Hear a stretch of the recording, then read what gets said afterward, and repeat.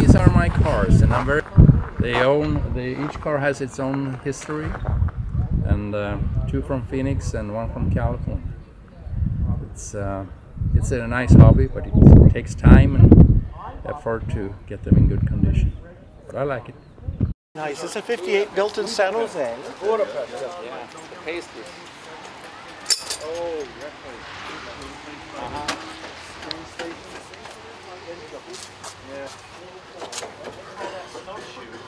We found out when we had to have the car painted for someone at a car show. I don't know what happened to those. Is it is facelift? Don't know what you meant to. But it's like Hawaii. It comes and it goes. Disappears. car painted again, and we're putting it all back together. Just enough to mess up everything. Uh huh. Snow White with an ice cream roof and an ice cream sky. It's really pretty. It's very We're getting dizzy. I know, yeah. Working Oh, too you fast got after a big meal, I guess. Yeah. Lars! it's his car. Look, we're getting photographed here. So, yeah. Did you get it? Alan, you fixed it. Good. There you one go. is painted in snow Isn't it white pretty? and ice green, and the interior You know how on the armrest, start to sag? Well, to um, to um, have these nice Edsel cars, you need a good mechanic. and Alan has been uh, my mechanic for the last almost uh, eight, ten years, and he's uh, an expert to handle these these cars. I'm not a good mechanic by myself, but Alan do all the good work to get it done. The full restoration of the, the 410 motor to this, he has redone the whole motor and also some smaller stuff that needs to be taken care of during during time and years. So I'm very happy about this. Thank you. Alan is a well-skilled mechanic and he's also into the hobby, but he has some Ford Crown Victoria 55 and a Ford uh, 1946 convertible. That's That's Yeah. for sure. Yeah. this is uh, Dave Gilbert from uh, San Francisco, and he has been the mechanic of Michael Cowles, former 1960 Ranger convertible. So what have you done with the car during the years, Dave? Oh, it's been 35 years. Can Yeah. I remember everything? Flashing lights, the, the turn signal was a problem. We Mm-hmm. took care of that. We took care of leaking power steering rams, and then it's the carburetor linkage, and blah, blah, blah, you know, running like bad behavior, and we have to take care of that.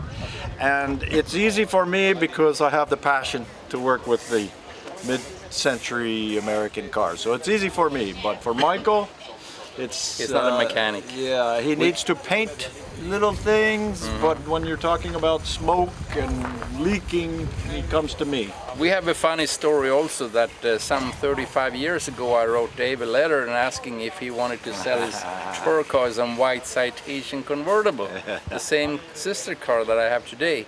But he said no, it's not up for sale and No, So- Dave was making too much money at that time. He doesn't need the money. He loves the car. He's keeping it. Yeah. Sorry, Lars. and now I tell That's him you have first right of refusal. oh that sounds good. Because we love to have the American 1950s, 60s cars in Sweden because they are good custodians Mm-hmm. that respect the cars, really believe in these cars, more so than US. USA, they want muscle cars, they Mm-hmm. want uh, hot rods, they want mag wheels and uh, like air that, yeah. conditioning and all the modern stuff. They don't really care about the Originality. 1950s elegance. Yeah. Lars is the, the master of originality. leave, Yeah. leave the car alone As it was, yes, that's for sure. because it's good enough. and this is first trip for Dave in Sweden. We're gonna go to the Power Meet to see it around 10, 15,000 cars. Yes, That's gonna be we're fun. Going to lead shopping. yep, we're That's excited. Yeah, about it. Maybe you see some Edsels. We hope so. Uh, here in the car I have Phil Skinner from Los Angeles, California, and I have Michael Cowles from San Francisco, California. Uh, we're sitting in my 1958 Citation convertible. I bought this car 1950. It's it's a 1958 model, but I bought it 1992 in Phoenix, Arizona, from a guy named Ray Kudik, Ron Kudik, Ron Ron Kudik. And uh, I brought it to Sweden and it's been under restoration for about five years. Uh, so it's, uh, it's a, I would say, a pretty good car. So Phil, can you tell us a little bit about the history of the Edsel and so on? Well, the Edsel was originally developed to be kind of a medium price car.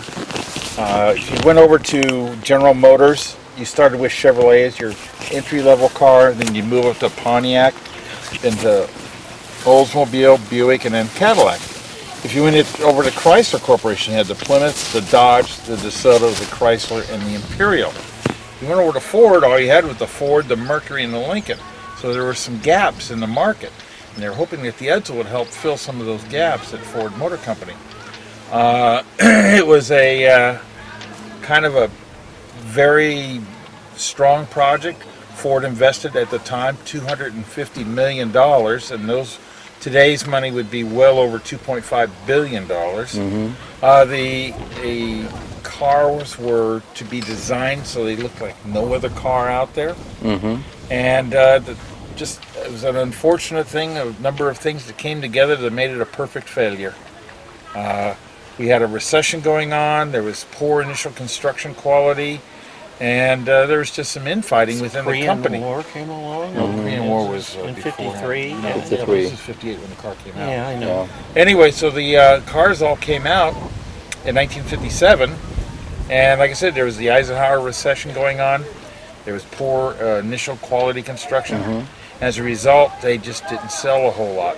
This citation convertible we're sitting in that was made in two different assembly plants, and they only made 930 of these cars.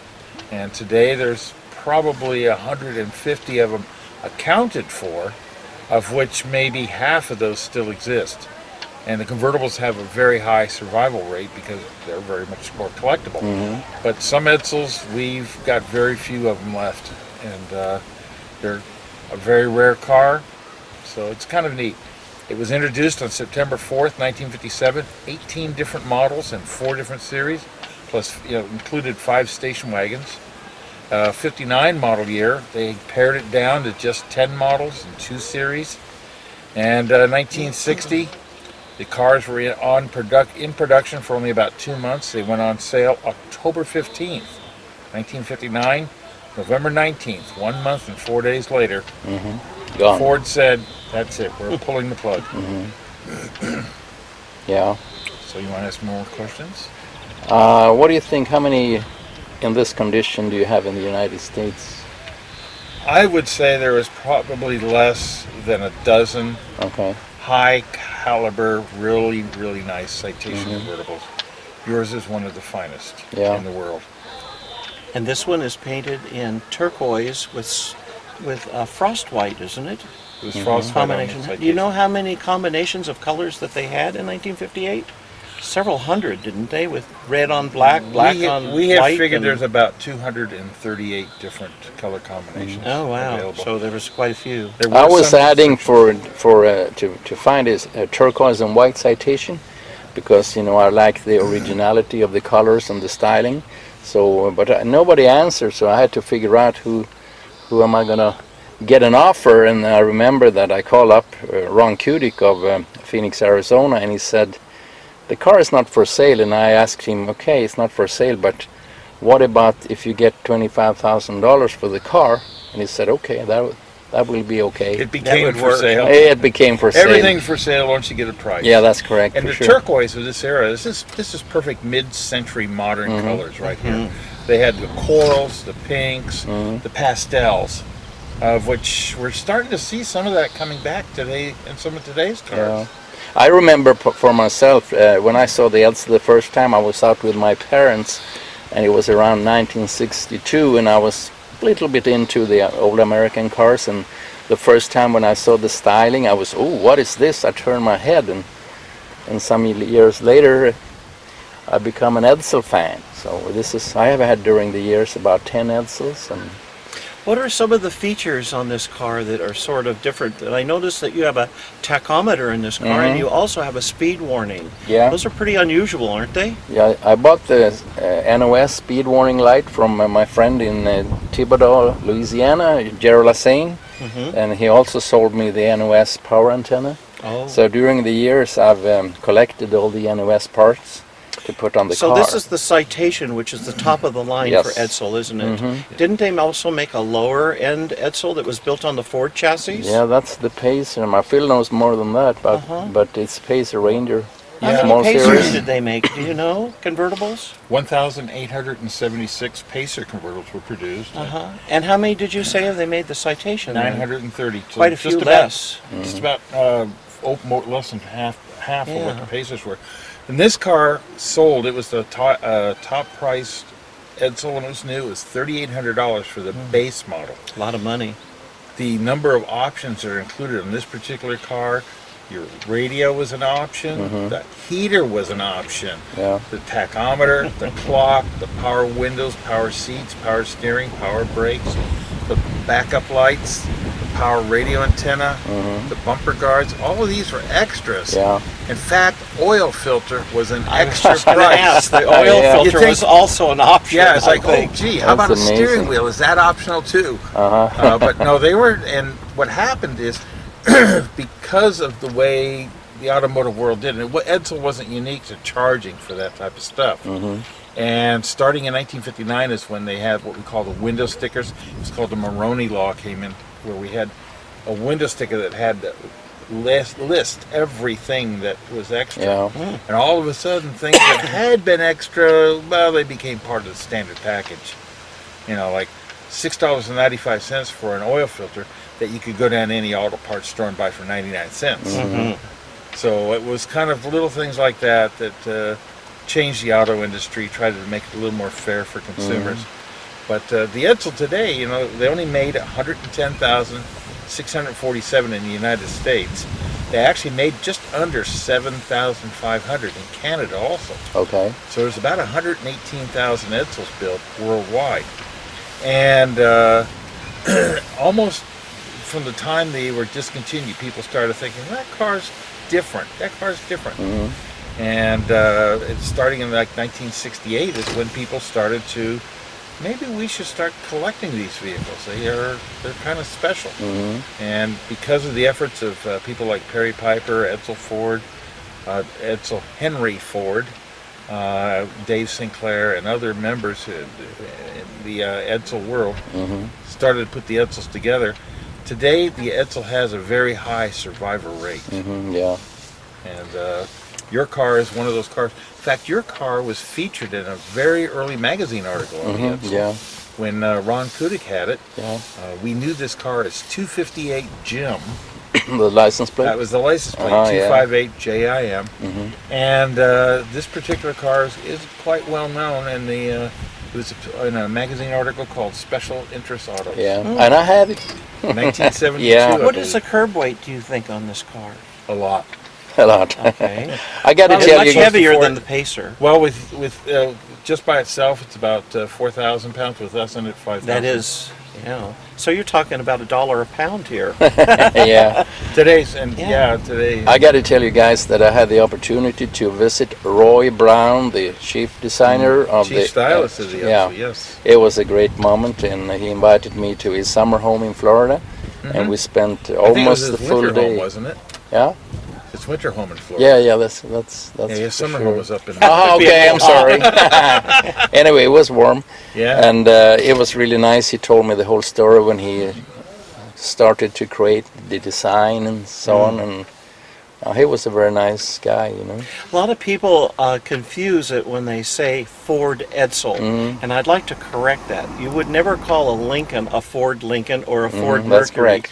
Edsel is an Edsel. It is not a Ford Edsel, and I just want. That's to a set good that point. record clear. or Yeah. like a Chrysler Dodge, because Yeah. Dodge is made by It's Chrysler. new. Yeah. It was an independent make by itself, um, and it only, like I say, it only lasted the three model years. So Mhm, yeah. Very, very limited. But this is my in my world. This is the real Edsel with the horse collar grill and 58 the is- styling. It's the pure Edsel. Yeah. It's a pure Edsel. And the name Edsel came from Henry Ford's only son, Mhm. Yeah. who died, what, in 1949? 1943. 43. May Yeah. of 1943. Okay. Uh, and uh, Henry Ford's son, Edsel Bryant Ford, um, had three boys himself. He also had a girl, Josephine, but he had Henry Ford II, he had Benson Ford, and William Clay Ford. And uh, all three of Edsel Ford's sons took an active role within Ford Motor Company. So it was very interesting about that. And uh, um, Edsel Ford has gone on today. Mm. His son is Henry Ford III. Okay. and Henry Ford III is a young man in his 30s who is learning the company ground up.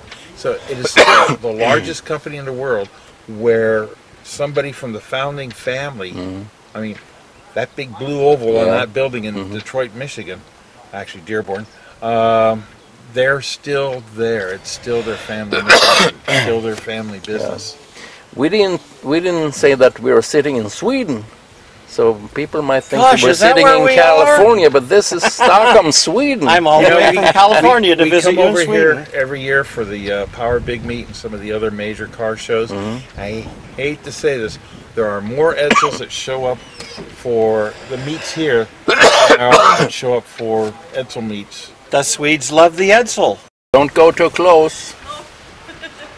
If you drop something on the car, you need to go to the bank. I'm going to remember that. Well, that's for sure. That's a good one. Yeah. Are we on? Okay. Yeah, some Michael, some 20, 25 years ago, I saw this car in a in Well, a who are you? And, And what oh. is this car? I'm Lars Take. Salmonsson from Stockholm, Sweden. I thought you were Larry the fi- Larry. Larry from Let's start over. Let's do Take this. two. We're going to start over. two. Take two. Yeah. Take two. anyway, Yeah. We're we sitting I in met, this I met, I met Michael in a car meet, in an Edsel meet, some 20, 25 years ago. I saw the car first, and I got to get in contact with the owner. So I talked to Michael, and we talked about the car, and I admired the car and so on, and asked, "Is it up for sale?" And he said, "No, no, no, no, no, no. This car is not up for sale." And we kept in contact. We uh, talked on the phone. I wrote letters. I went over to San Francisco and I drove the car over the Golden Gate Bridge several times, and I called up and further on, and the car was never up for sale. And then suddenly I changed my tactics, 2015, and I said to Michael, "I know the car is not up for sale." But if it could be for sale, could it be 2015, 2016, or 2017? That's right. That's right. And he said, Oh, Lars, you never give up. Come on over to buy the damn car. That was the story about it. That's right. Pretty much. But how did you how did you find the car from the beginning? I knew about the car because I belong to the Edsel Owners Club. I'm actually the president. My name is Michael Cowles, and uh, I knew about the car arriving at some of the meets and stuff. But then it kind of disappeared in a long, for a while. And then one day I got a telephone call back in 1983 from someone. His name was Edsel Ford, not related to the Ford family, and he says, "I really have a special car for you. I'd like you to come and look at it. It's in Alameda, California." I said, sure. So I went over and he opened up the garage, and this car had been sitting there for about 12 to 13 years, and no one had done anything to it, but it was well protected in a garage, and it only had 63,000 miles on it.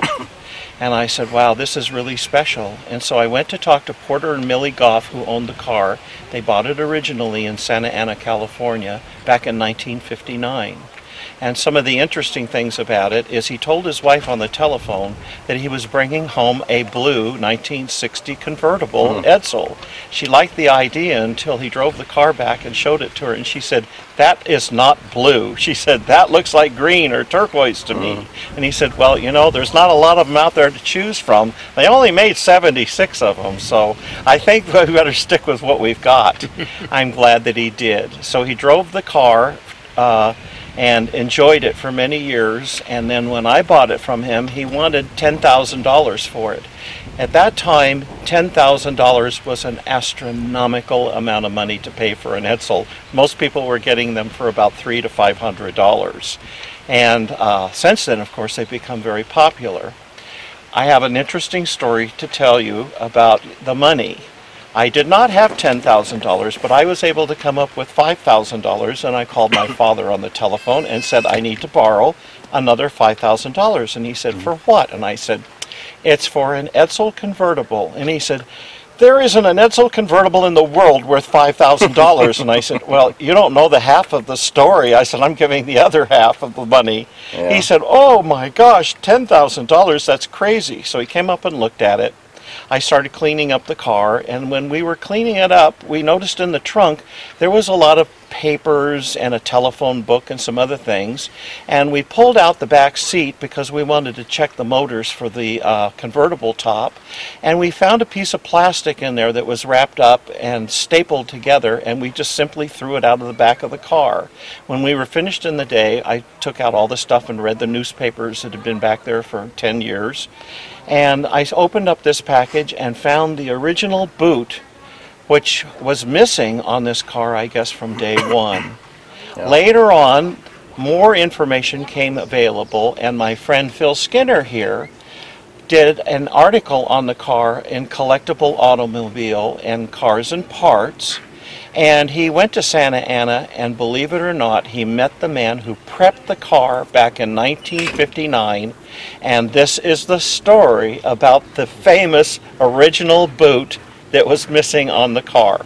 Well, basically, you told me that when you bought the car, you asked Mr. Goff about the boot, and he said, never had one.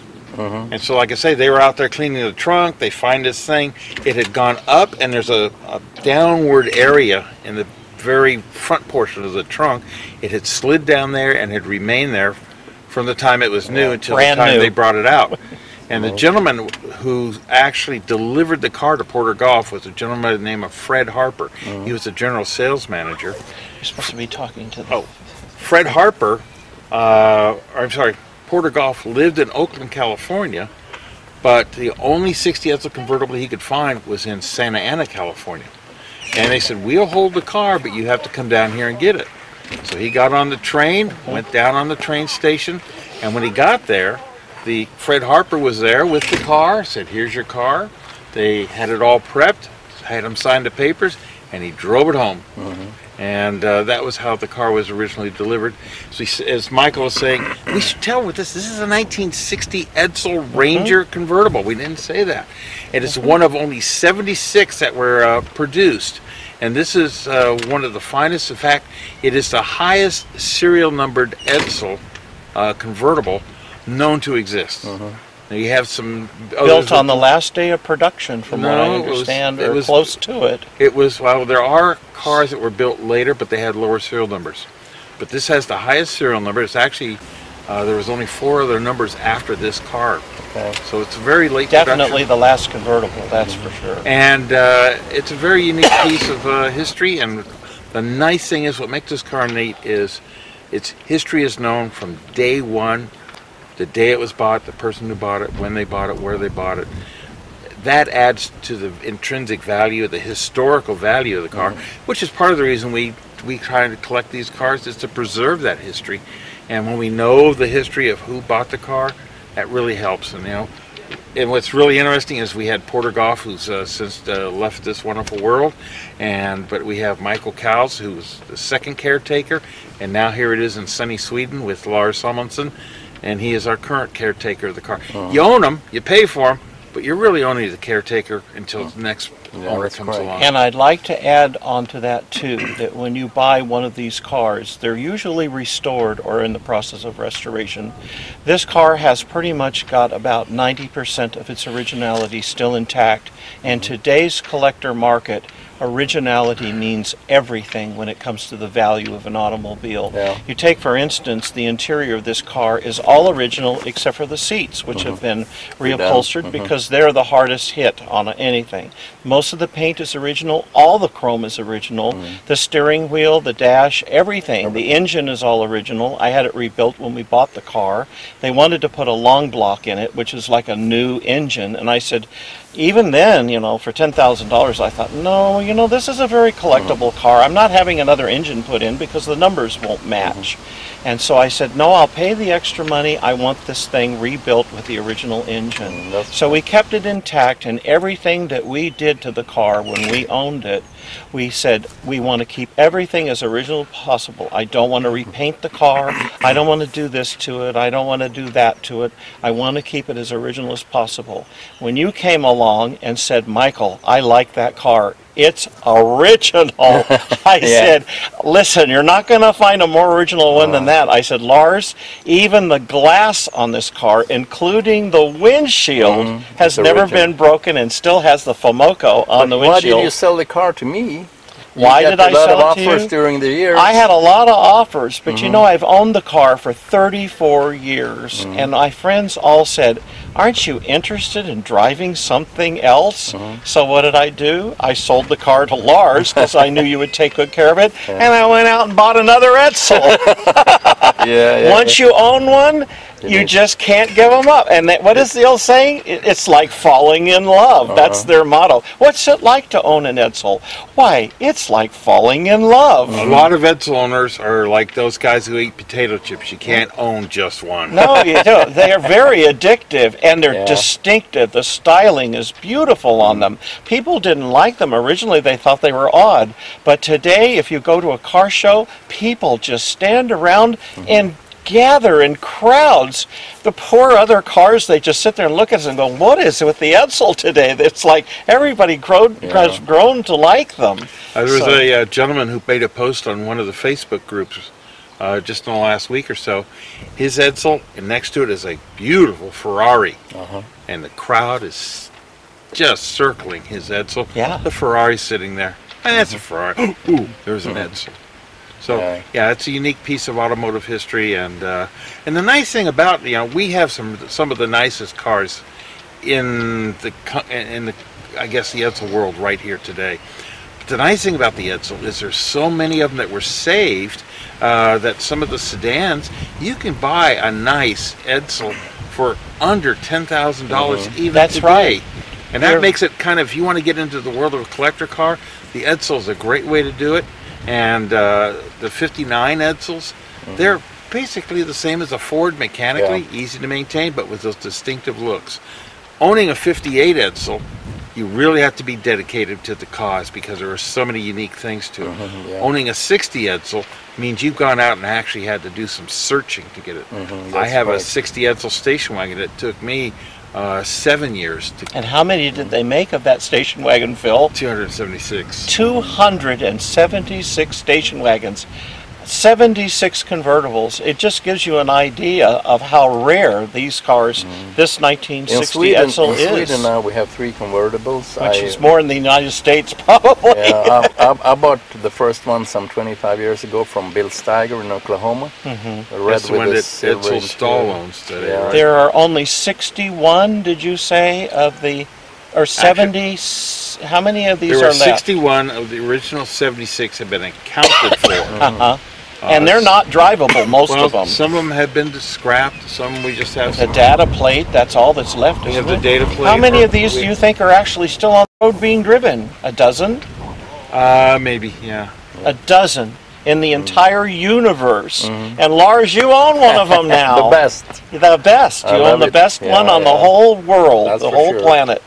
So, well, that's a story about it, and it's nice to know you. We became friends because Yeah. of the Edsel. we became friends because of the Edsel. We all did. Give me five, big guy. Okay, guys. And I want to thank it's you guys for this interview, Michael Thank you, Lars. Thank us. Thanks for inviting us over to Sweden. Yes, Yeah, we had a wonderful welcome. time. And the sun is shining like in California. Yeah, but an hour ago it was pouring rain, and we Yeah. were out here with rags.